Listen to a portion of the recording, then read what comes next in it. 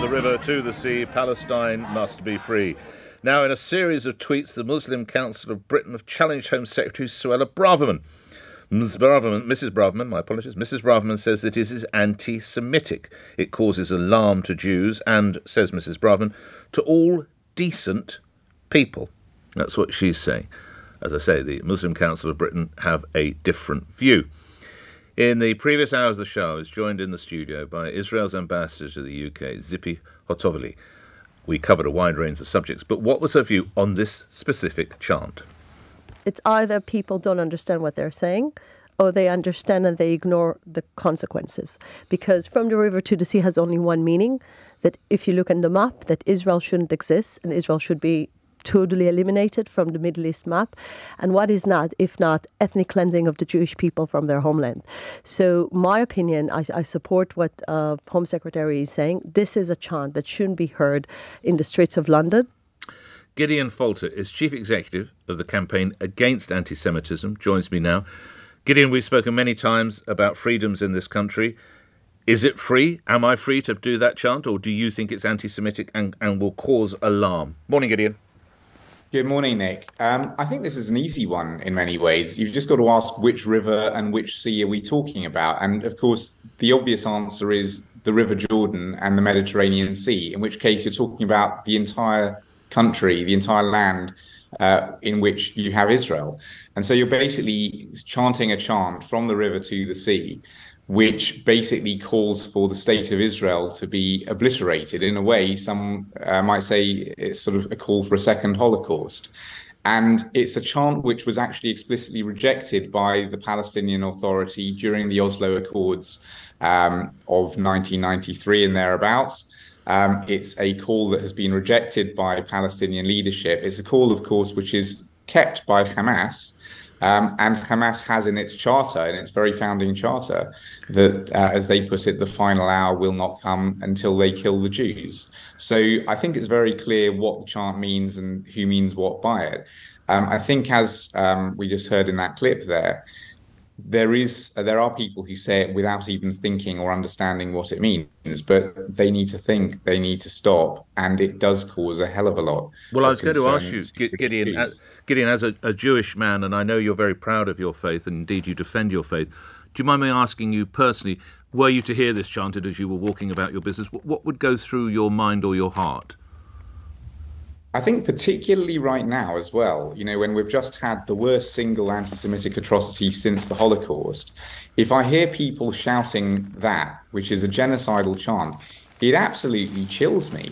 It absolutely chills me that people are chanting that on the streets of the UK. And I was just reading in the Telegraph this morning about those two British Israeli sisters who've been taken hostage by Hamas. You know, this people forget. Yahala, no- Noyer, just to remind my listeners. Go ahead, Mr. Uh, Mr. Yeah, yeah, Yahala and are still, uh, you know, and they're both minors, um, 16 and 13. They're, they're, they they are in captivity of Hamas without being explicit.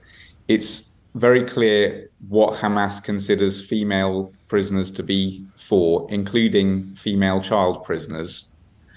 And at the same time as these people, over 100 people being in brutal captivity of Hamas, we also are seeing Hamas continually firing missiles, trying to hit civilians into Israeli cities. And of course, sometimes those missiles falling short and actually hitting people in Gaza or overshooting Israel entirely, because Israel's not a big country, and actually hitting Palestinians on the other side of Israel, um, in in right. in on the on the other side. So you know, hearing Sorry, go on. Nick. I was just going to say I, I, need to move on, but I want to ask you one final question on a, a related issue. I understand you were at a demonstration yesterday outside the BBC uh, with others concerning the use of some of their dialogue. They still, um, I don't seem to have a problem with it, but they still sound unable to say the word terrorist. Why did you hold that demo? How successful was it, and what are you campaigning for, Gideon?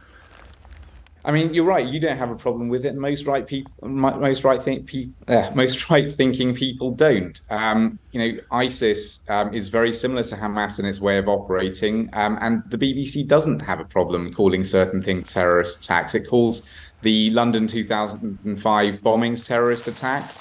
Um, in fact, last night, when there was that horrific terrorist attack in Brussels, they immediately called it a terror attack.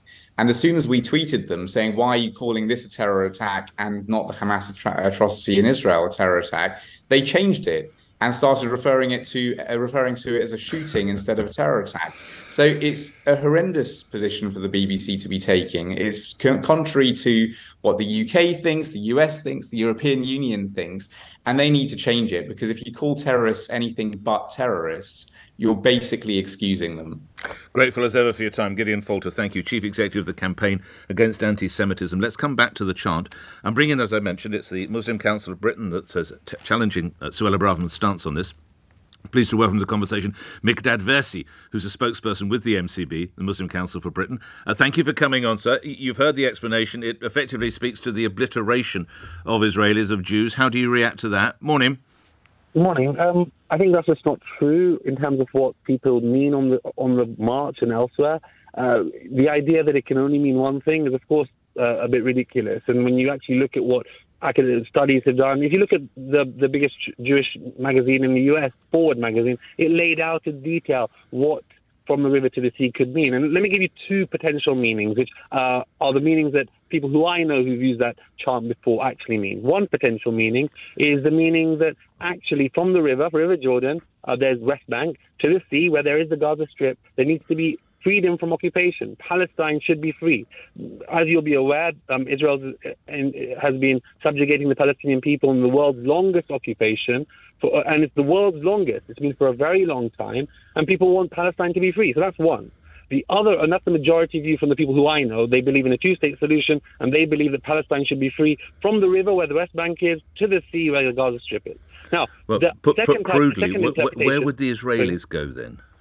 where Israel is. They believe in a two-state solution, and they say that from the river, where the West Bank is, but you wouldn't, to the sea, you wouldn't join them up then. I, I see. There's two separate so enclaves. They're two, but, they're, but that's where Palestine is. Palestine, which is I mean, the state of Palestine, according to um, many countries across the globe, is in the West Bank and Gaza. So West Bank and Gaza, they should be free and that's from the river to the sea. So some people believe in a two-state solution. Let me just give you the second perspective in a second, ahead. if that's okay. Go, go ahead. The second, go ahead. Yep. The second perspective is that they, believe that some people believe that actually what you need to have is a one-person, one-state, like South Africa post-apartheid. So obviously Israel is is uh, an apartheid state according to human rights organizations. South Africa, Israeli spy spy chiefs, etc. So given that it's an uh, apartheid state, some people say right. from the I, I need to challenge because many people challenge that it's apartheid state. But go on with people, the main some people challenge that. I agree, yeah, okay. but most, I mean, most human rights groups uh, oh, okay. believe it's an apartheid yeah, state. Okay, so yeah. now, if that's the case, post an apartheid state, what you want is one person, one vote. So anyone, whether you're Palestinian, whether you're Arab, whether you're Israeli, everyone has one person, one vote. The whole land should be a democratic, secular state. Now that's what some people believe. Now okay. I, I, I'm not why, saying that I agree with either of those. Why, I'm saying that don't assume and yeah. don't attack anyone who says this as they Look, want to obliterate Jews. Like that's just not but if, fair. Okay, it's, but it's a slur. You, you sound a very reasonable fellow. But if you'll allow which, and I read that the slogan after the 1993 Oslo Accords, which, of course, as you'll recall, was signed by Israel and the PLO, the slogan was effectively dropped. And then it was taken up by Islamists, including Hamas, why would you support that? Because you sound very reasonable. Why would you want to support that? I, I can't imagine you're a supporter of Hamas. of course. So, so I think that's a very reasonable question. I think if you were to try and actually talk about the, the pain that Palestinians feel and the way that they use a term uh, on the street to try and express their pain and try and see is there a way to do it in a way that's different. You know, let's have that conversation. I'm, I'm not someone who'll say, you know, I want to hurt people or want to have, you know, those who have different views that it shouldn't be th- thought through. But these are these, these are chants that they've had on demonstrations for decades. It's not just an Islamist chant nowadays. It's a chant that is used by many people. Now, it might have been originally by some in, in some uh, occasions, but if you look at what, what what has been written on the topic, that's not actually the case now.